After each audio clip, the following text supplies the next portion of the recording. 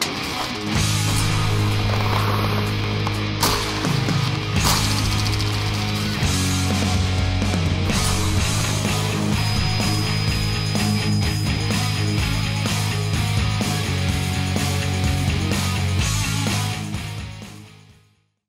Hey, ¿qué pasa chicuelos? Bienvenidos al ya cuarto vídeo de desarrollo de American Life. Y hoy pues vamos a hablar un poco del tema de la interfaz. Estamos aquí con Mike que nos va a echar una mano. Hola Mike. Hola, buenas. Bueno, pues vamos a entrar, estamos aquí en la pantalla de, lobby del servidor, ¿vale? Porque lo primero que yo quería que vierais es precisamente la pantalla de entrada de selección de, de avatar del servidor Porque está muy, muy, muy, muy interesante. Eh, Como podemos ver, esta es la pantalla de bienvenida Aquí nos pone la, fanfarria esta épica de bienvenida para despertarnos diciendo despierta que vas a jugar ahora ya a un, juego molón. Entonces, eh, bueno, pues tenemos aquí nuestra pantalla de, bienvenida, ¿vale? aquí está nuestra selección de avatar, aquí tenemos a la izquierda nuestro este nuestro log, log de eventos de todos los sistemas que se inicializan y todo esto. Eso es lo que, siempre ayudan a saber cuando hay un error, en qué parte ocurre el error. Bueno, pues nosotros lo hemos hecho de esta forma, bastante más, más atractivo, más bonito. Arriba pues el, el título del servidor, el nombre del servidor y todo esto. Bueno, esta es nuestra pantalla de selección de avatar. Eh, el criterio que nosotros vamos a utilizar para permitir varios avatars aún no lo tenemos claro. Seguimos fieles sobre todo a la idea de que una sola persona debe tener un solo avatar. Un avatar es un personaje, ¿vale? Sin embargo, queríamos dar la opción a personas que de pronto comparten su cuenta de Steam con, algún hermano o algo y que pudiese tener cada uno su vida separada dentro del servidor. Es decir, un avatar completamente separado, independiente el uno del otro. También está el caso de los administradores, que los administradores van a tener eh, su personaje, su avatar para administrar y es en ese donde van a estar las herramientas administrativas y luego van a tener eh, su avatar para jugar en el cual no van a tener herramientas administrativas y eso es bastante interesante para el tema de la, transparencia eh, con el tema, ya sabéis, del admin abuse y todas esas cosas.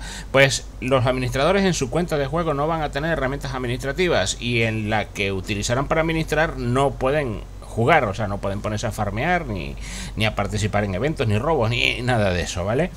Bueno, vamos a crear un nuevo avatar. Como podéis ver, eh, yo tengo autorizado 8 avatars, en este caso, esos son eh, personales para cada caso, ¿vale? Según la cuenta de Steam. Pues tengo creado 7 y me queda uno. Vamos a crear un avatar de prueba y como podemos ver, pues aquí llenamos algunos datos, el nombre, el apellido, eh, seleccionamos la fecha de, nacimiento, eh, el sexo, si somos hombre o mujer. Automáticamente cuando nosotros seleccionamos un, un, hombre, bueno, un hombre no, depende de la cara que nosotros tengamos en el perfil. Si esa cara coincide con el sexo masculino, me la va a poner como predeterminada. Y si, y si seleccionamos femenino, pues me va a elegir una al azar, ¿vale? Para yo elegir la cara que quiero para este avatar. Si por lo contrario en mi perfil tengo una foto de mujer, pues será lo contrario. Me aparecerá como predefinida la de mujer y como y, al darle la de hombre me seleccionará una al azar para yo poder eh, seleccionarla, ¿vale? Luego, pues aquí abajo ponemos nuestro lugar de nacimiento, eh, de procedencia, que yo tengo ganas de hacer una lista de países y ponerlo así en una selección como la fecha de, nacimiento, ¿vale?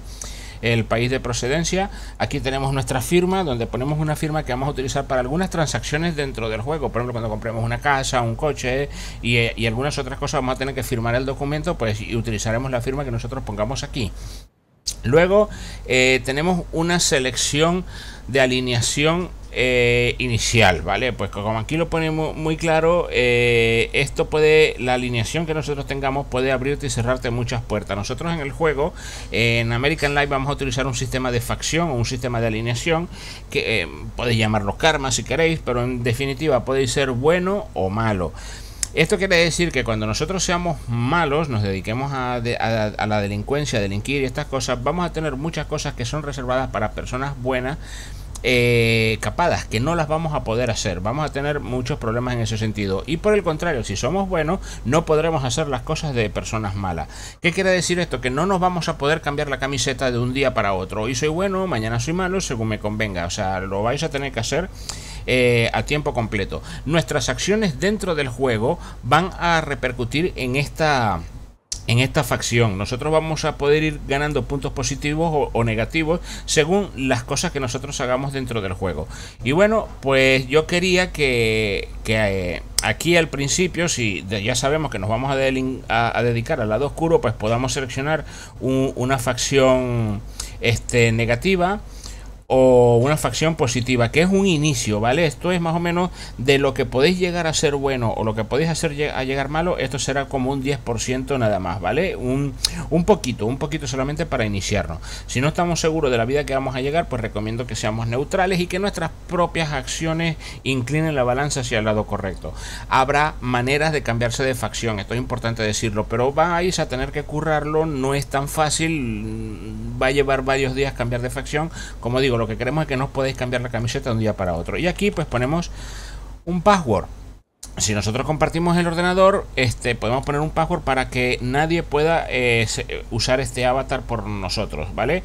Eh, en este caso aquí se ve el password porque lo estoy poniendo, pero donde lo tenemos que poner para seleccionar el, el avatar, y ahí no lo veremos. Bueno, vamos a darle cancelar. No me interesa crear más, que tenemos mucho. Y bueno, pues aquí cuando seleccionamos un avatar tenemos la diferente información de cada uno. Nos pone la cara, eh, los datos personales del avatar, fecha de nacimiento, última visita al servidor, pues de hoy mismo. Eh, tiempo jugado, mirad el tiempo que llevo yo metido dentro del servidor, 624 horas, soy de nivel 7, alineación gamberro, policía sí, MS sí. Esto es porque eh, porque no está hecho aún, pero planeo hacer que si pasáis a, facción negativa, o sea, de delincuente, automáticamente os eche de la policía y, el, y la MS. Y pues estado activo. Si nosotros seleccionamos, por ejemplo, este, nos pone los datos de, de este avatar. Si selecciono este, pues me pone los datos de este. Fijaros que me pone que está en prisión porque habré deslogueado cuando estaba cumpliendo condena, pues ya sé que cuando entre tengo que seguir cumpliendo mi, condena. O sea, en este momento el estado del avatar es en prisión. Y este tiene password, ¿vale? Para testearlo del password. Yo aquí puedo poner mi password. No me va a dejar porque lo, lo he metido mal. Y bueno, pues este avatar no me va a dejar seleccionarlo porque no he metido el password. Y este que está aquí, pues está muerto, ¿vale? Eh, quiere decir que, me, he deslogueado cuando el personaje estaba muerto, no había respaneado todavía. Y cuando regrese voy a tener que terminar de pasar el tiempo de... El tiempo de, muerte restante que me, que me, falta, ¿vale? Según la última vez que sincronicé. Bueno, vamos a coger mi personaje y entramos. Está Mai por ahí esperándome, ¿no? Bueno, podemos ver el log de eventos a la izquierda. Y bueno, pues hemos tardado bastante, pero es que vale mucho la pena mostrar esto porque es bastante novedoso el tema de, la pantalla inicial y la, la, selección de avatar. Bueno, aquí está Mai aburrido esperándome. ¿Qué pasa, Mai? Está la cosa. Bueno, yo creo que lo primero que vamos a mostrar, hablar es la HUD, ¿vale? Tenemos nuestra HUD. Eh, es minimalista, es sencilla, pero creo que está muy bonita. Básicamente son unos iconos que tenemos a la derecha, abajo, y pues tenemos básicamente tres iconos, ¿vale? El de la comida, el de la salud y el de la experiencia. Podéis ver que cada uno tiene dos barras, ¿vale?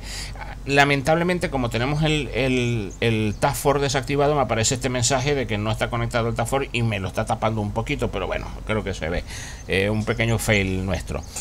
Bueno, eh, podéis ver que cada uno tiene dos líneas, ¿vale? Eh, por ejemplo, el de la comida tiene una verde y una azul, donde la verde significa la comida y la azul significa el agua. Así ahorramos espacio y podemos poner dos medidores en, una misma zona, eh, una barra interna y otra afuera. En el caso de la salud, pues la de afuera es la sangre y la de adentro es el dolor, que como no tengo dolor está apagada. Y en el caso de la experiencia, pues la exterior. No, no, no, no, no, no, no, por favor, no, no, no. gracias, gracias. Pero eso lo demostramos otro día. Y en el caso de la experiencia, pues la, externa nos da eh, la experiencia que tenemos para pasar el nivel. Y la interna nos da eh, la sabiduría, una cosa que, bueno, en el caso de la experiencia, tanto la de afuera como la de adentro hay bastante tela y eso lo vamos a explicar otro día, mm, en un vídeo más detallado, ¿vale? Bueno, después tenemos el dinero, la facción, la facción que tengo ahora mismo, que creo que me la, que la voy a quitar aquí del HUD porque ya la hemos puesto en otro lado. Y tenemos la última que la estrellita nos pone el trabajo que estamos realizando. Vamos aquí al, al NPC, ¿vale? Por ejemplo, vamos a entrar de servicio policía. Buenos días, caballero. Bueno, podéis ver aquí nuestra interfaz de, los NPCs también, que es bastante completa y tiene una razón de ser. O sea, no lo voy a explicar ahora porque bien amerita un, un vídeo dedicado a lo que nosotros tenemos planeado y lo que estamos metiendo aquí con los NPCs. En este caso, pues solamente voy a darle entrar a servicio. Ahí está en el PC y pues ya estamos en servicio. Podéis ver que ahora me pone ahí oficial de policía en la HUD. Bueno, eh, ahora vamos a ver un poquito lo que es el, menú radial, ¿vale? Que está muy, muy interesante también. Hemos hecho un menú radial completamente 100% radial que funciona con la tecla tabulador. Este menú sustituye completamente la rueda del ratón. En, un 95-99% vamos a sustituir la ruleta ratón. Hay alguna que otra cosa muy pequeñita, sobre todo Adon, que no, no, podemos modificar, que no son de nosotros, que pues van a tener que seguir utilizando la rueda del ratón. Pero casi todo va a ser con este menú, ¿vale? Es un menú inteligente que se adapta según las opciones que tengamos. El menú tiene por defecto 1, 2, 3, 4, 5, 6, 7, 8 posiciones, ¿vale? 8 posiciones para eh, colocar los ítems, pero eh, en la medida que vamos excediendo de las 8 opciones, el menú se va reposicionando, va, recolocando todos los, todos los botones, todos los iconos, de manera de que mantenga una, simetría perfecta dentro del círculo. No, no, no, sabéis cómo he tenido que empollar yo de matemáticas para poder hacer esto, recordar todo lo que había olvidado de matemática. Bueno, en definitiva, al menú le caben creo que 16 o 18 ítems, ¿vale? 16 o 18 iconos en total. Eh, y además de esto también tiene submenú. Por ejemplo, si entramos en opciones, este icono de opciones pasa al centro y entramos en el submenú de opciones, ¿vale? Si lo volvemos a dar aquí, regresamos atrás, aquí entramos a opciones, eh, donde le damos, yo que sé, por ejemplo, sincronizar, pues sincronizamos. Podéis ver aquí el eh, otra parte importante de la HUD que no comenté que es el sistema de mensajes, ¿vale? Tenemos un sistema en el que pueden entrar hasta 8 mensajes o 9 o 10, no recuerdo ahora mismo. Eh, como podéis ver son, bonitos, estéticos, con iconos, con sonidos y todo esto y los mensajes no se pisan porque si tenemos todas las casillas de mensajes ocupadas, cualquier nuevo mensaje que recibamos del sistema, de otro jugador, de lo que sea, va a entrar en una cola. Y en el momento en el que se vayan desocupando las posiciones de mensaje, es decir, que ya pasan, pasan los segundos que se muestran y se vayan quitando, entonces esos espacios se van a ir ocupando por los que están en cola, de manera que no nos van a pisar los mensajes ni un mensaje que entre muy rápido va a evitar que, que podamos leer el anterior ni, ni, nada de esto. Este, bueno, pues el tema de los menús, eh, pues eso, eh, tenemos unos 16 o 18 y además podemos tener submenús y submenús de submenú y así sucesivamente. O sea que prácticamente las opciones son ilimitadas, ¿vale? Bueno, Vamos a ver, por ejemplo, las opciones de, de Mai. Tenemos esta. Mai, tienes esposas, ¿verdad? Déjame, que yo creo que no tengo. A ver, pues no, yo no tengo. Vamos a comernos una pizzita. Vale, una, una, una, una. Que para esposarte a ti me basta. Gracias. Ah, vale. Y una llavecita para poder soltarte, vale. Bueno, ahora vamos por el menú de acción. Ahora tenemos, nos sale la opción de esposar porque ahora tenemos esposa y vamos a esposar a Mai. Ahora que tenemos a Mai esposado, podemos ver cómo tenemos muchísimas más opciones porque tenemos ahora todas las opciones de, de, de Mai, ¿vale? Podemos este, eh, tirarle las cosas al suelo, podemos escoltarlo, podemos cachearlo ¿vale? Que lo de cachear ya, ya lo vamos a explicar, no lo tenemos completamente terminado, ya lo vamos a explicar después, cómo funciona el tema de, del cacheo, que va a estar bastante guapo también. Eh, y bueno, podemos ver que ahora tenemos más de 8 iconos. Tenemos 1, 2, 3, 4, 5, 6, 7, 8, 9, 10, 11. Y podéis ver cómo se han redistribuido en, el menú radial perfectamente. Eh, vamos ahora a encadenarlo, por ejemplo, que vamos a encadenar, es encadenarlos de pie. ¿Cuál es la diferencia? Que más adelante pensamos poner que puedas caminar aunque estés esposado. Entonces, si alguien está tocando mucho la nariz, eh, mira, además de esposado, te encadenamos para que no te puedas mover. Vale, lo desencadenamos. Y lo eh, desesposamos. Vale, vamos a sacar un coche para que veamos las opciones de coche también. Y algo sí os voy a decir, chicos. Este vídeo lo vamos a tratar de hacer así. Lo estoy tratando de hacer lo más rápido posible. Pero es que del tema de la interfaz de usuario hay mucha tela. Bueno, mucha tela no. Lo podemos resumir muy fácil. ¿A que sí, Mai? Lo podemos resumir en una sola frase todo. ¿Sabes cuál es? Impresionante. No, todo es nuevo. Vale, también sirve. también vale, ¿no? Vale, vamos a sacar un coche de policía. Doble clic lo sacamos con doble clic o dándole al botón, da igual. Como podéis ver, toda la interfaz de usuario, todos los menús, absolutamente todo es, es nuevo y original. Entonces, hablar de toda la interfaz de usuario pues nos, va a llevar, nos llevaría un vídeo de más de una hora seguramente. Así que vamos a tratar de tocar eh, lo más importante para que os hagáis a la idea porque eh, seguramente ya va a ser un poquito largo el vídeo y, solamente resumiendo, si, fuéramos, si, si nos pusiéramos a hablar de todo pues tardaríamos mucho. Bueno, aquí está el menú del coche, ¿vale? Tenemos el coche, podemos ver las opciones que tenemos con el coche y si le damos a la tecla U como toda la vida, abrimos el coche y ahora tenemos las opciones diferentes de, del coche abierto, lo que podemos hacer con el coche estando abierto. Hay una cosa muy interesante que lo podemos abrir y cerrar por este menú, no solamente con la U. Ahora lo cierro por el menú, ¿vale? Si le damos a la U, abrimos, le vuelvo a dar, cerramos. Pero hay un, detalle bastante interesante, ya sabéis, aquí no escatimamos en detalles, que es que si le damos a abrir al coche por el menú radial, automáticamente nos abre y nos mete dentro del vehículo. ¿Lo veis? O sea, lo hace todo en un mismo paso. Lo vuelvo a cerrar. Le damos por el menú radial, abrir y cerrar. Y entramos. Y esto lo hemos hecho para esos casos, ya sabéis, en los que estamos en el garaje y tenemos a un pesado al lado que está esperando que nosotros abramos el coche a ver si es lo suficientemente rápido para entrar de conductor antes que nosotros. A todo el mundo le ha pasado eso y de hecho nos han robado coches así porque a veces cuesta hacerlo suficientemente rápido. Entonces, con esta opción se ha hecho pensando para ese caso, para que nadie os pueda trolear. Incluso si, si tenéis llaves del vehículo y el vehículo ya tiene algún conductor, porque y a vosotros os han dado las llaves o lo que sea, si la utilizáis, pues os pondrá en el asiento de copiloto y después seleccionará los de pasajero, ¿vale? Eh, pero funcionará igualmente. Con la llave, pues automáticamente entraréis. Este, una cosa interesante, que si yo le doy llaves a Mike, Mike podrá guardar el coche por mí. Esto es interesante, interesante comentarlo. Mai podrá, o sea, yo puedo prestarle el coche a Mai, o mira, cuando lo termines de utilizar me lo guardas. Y pues Mai, teniendo las llaves, podrá ir al garaje y guardarlo. Y ese coche pues estará seguro y a salvo en mi garaje. También es importante decirlo porque los coches que se queden afuera del garaje con los restar van a pasar automáticamente a confiscados. Mala noticia, chicos. Bueno, este Vamos a guardar el coche, se, hace de la misma manera, apunto al coche y le doy a guardar. Si estamos cerca de un garaje, no nos va a poner esa opción. Y bueno, pues por último, que Mike, el. Ah, lo de lo del Player Info, claro, ¿no? Vale, algo, algo importante, ¿vale? Podéis ver que Mike no me está dando. Voy a, voy a mencionar un poquito lo, de, lo de la whitelist también, ¿vale? Que también es interesante. Voy a entrar, voy, a darle aquí y me sale la opción de administrar. Esto es bastante interesante.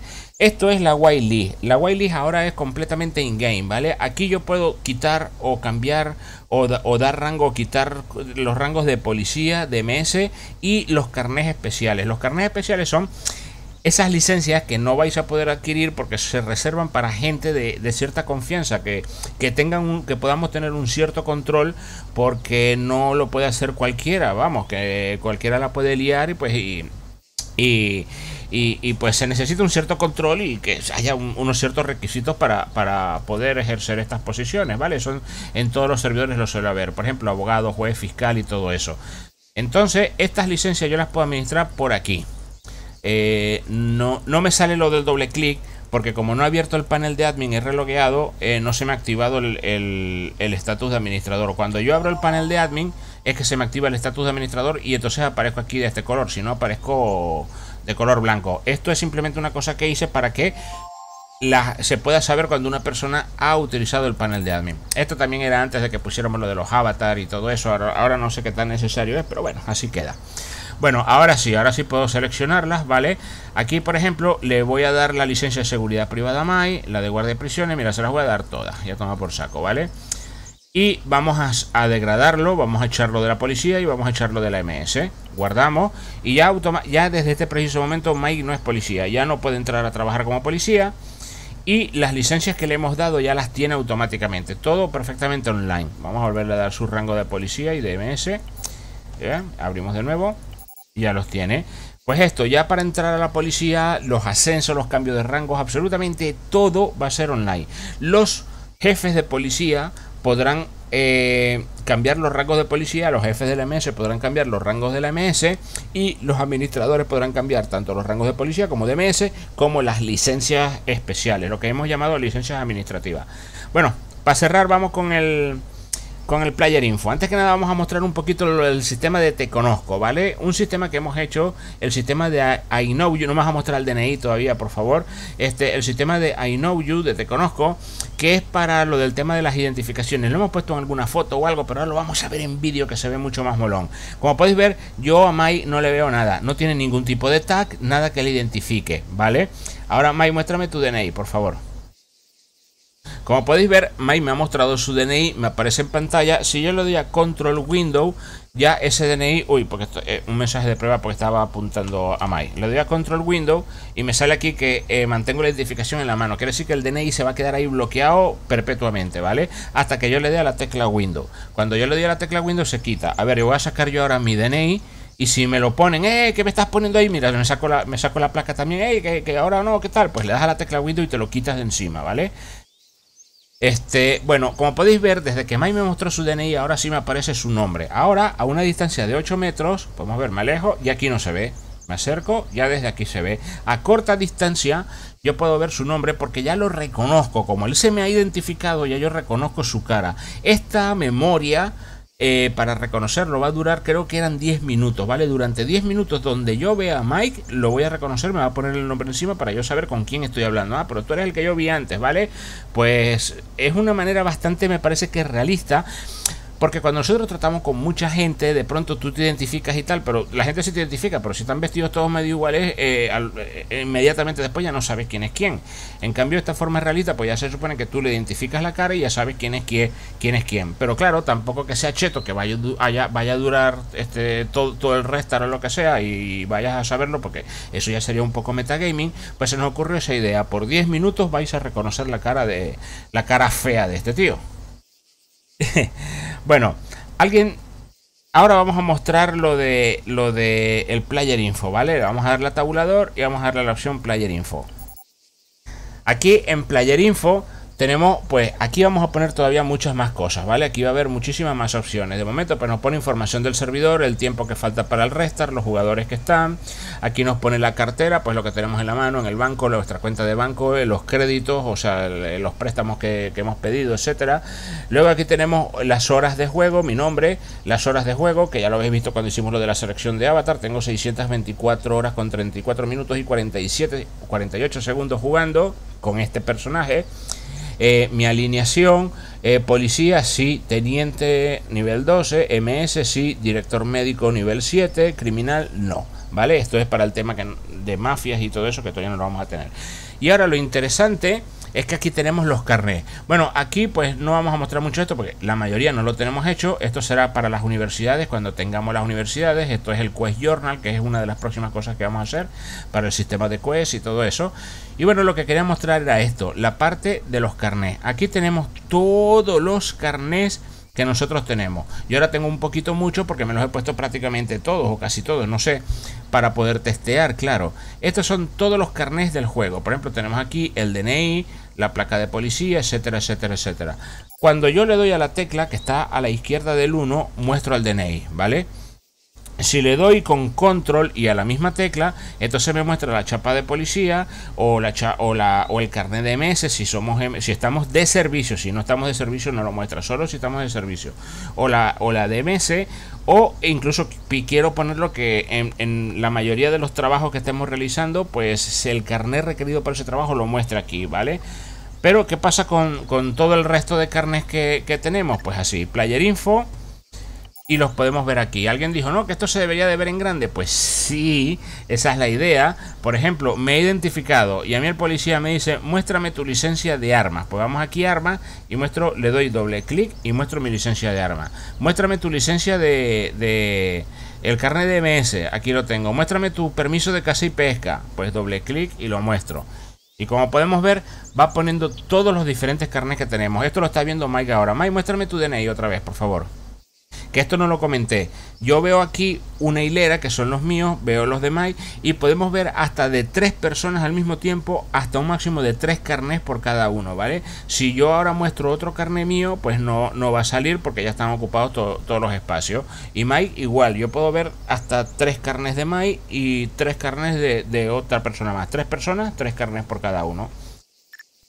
Pues venimos para acá otra vez, le damos a Player Info y bueno, pues aquí tenemos todos nuestros carnés. Vehículos terrestres, pues nuestro carnet de conducir, nuestro carnet de, de, de moto, nuestro carnet de camión y ya no puedo mostrar más porque ya tengo tres en pantalla. ¿Vale? Como podéis ver, cada uno tiene su, su, su diseño por separado, muchos los hemos tratado de hacer realistas, los que son realistas, eh, cada uno la información que da, bueno, pues casi son todos lo mismo, pero algunos dan más, otras dan menos, otros los distribuyen de diferente manera. Hemos tratado de que sean realistas el tema de los carnes. Vale, los quitamos con la tecla con la tecla Window. Entramos acá y yo qué sé, vamos a ver más carnet. Vamos a ver los de piloto. Este es el de ultraligero, este es el de piloto privado y este es el de piloto comercial el de ultraligero arriba y pues los de los carnes de piloto. Vamos a ver más, los quitamos. Y vamos a hacer una, una tanda más, ¿vale? ¿Cuánto llevamos de vídeo, May? ¿Le has tomado el tiempo? No. bueno, pues yo creo que ya está suficiente. Suficiente. Vamos a ver, por ejemplo, este carnet de transporte comercial, carnet de cargas pesadas, el carnet de, de seguridad privada, por ejemplo. Aquí los tenemos tenemos ahí un hin que me está molestando, pero bueno, eh, son hin de, testeos que ahora me tengo que poner a quitar por todos lados. La que se me van a olvidar de esos hin, ¿sabes? Bueno, ¿y todos los que hay? Buah, porque los voy poniendo por todos lados y después no los quito. Y bueno, pues nada, esta es yo creo que lo más importante que digo, que para hablar de la interfaz de usuario hay muchísimo que decir, pero pero vamos a quedarnos solamente con lo más importante, ¿vale? Y pues lo demás ya seguramente lo iréis viendo en la marcha. Mm, no, no sé, hacemos quizás otro vídeo con otras cosas. O, bueno, ya lo iréis viendo en, otra, en otras condiciones, porque lo, lo, lo importante, o sea, el, meollo de aquí del asunto, por decirlo de alguna manera, es el hecho de que toda la interfaz de usuario es completamente nueva. Y me parece que, bueno, la estamos haciendo bastante dinámica, bastante entretenida, bonita, y no sé, a mí por lo menos me está dando muy buenas sensaciones, me gusta mucho cómo está quedando. Ya vosotros, pues diréis qué os parece en los comentarios, porque vais a porrear la caja de comentarios, y los like, y los compartir, y todo eso, ¿verdad que sí? ¿A que sí, Mai? ¿Verdad que sí? Y si no, os echo a Mai, ¿eh? Que se os tira encima. Cuidado que muerdo. bueno, este... Bueno, hay muchísimas cosas que decir, pero lo vamos a dejar hasta aquí, ¿vale? Ya está bien. Bueno, pues espero que os haya gustado, chicos. Así que, ¿algo, algo que agregar, Mai? Comenta algo. No has dicho nada. Nada, yo creo que el sistema que acabas de mostrar hoy es muy intuitivo, muy fácil, aunque a los primeros días hay que acostumbrarse, pero es muy, muy fácil. Hala. sigue, sigue, sigue, no te distraigas. Nada, y eso, básicamente. Lo que, que lo prueben porque va a ser la polla, vaya. ¿Me quieres dejar de mover? ¿Ya me estás echando en la comisaría? Fuera de aquí.